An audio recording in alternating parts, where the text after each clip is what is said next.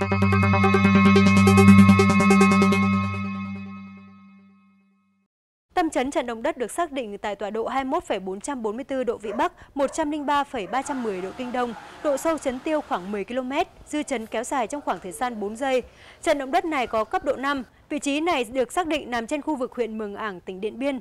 Theo đánh giá của Viện Vật lý Địa cầu thì tỉnh Điện Biên nằm trên khu vực Tây Bắc và nơi đây có cường độ hoạt động của động đất mạnh nhất trên địa bàn toàn quốc. Trong 100 năm trở lại đây, trên địa bàn tỉnh này đã có 3 trận động đất kỷ lục với cường độ từ 5,3 độ Richter đến 6,9 độ Richter. Música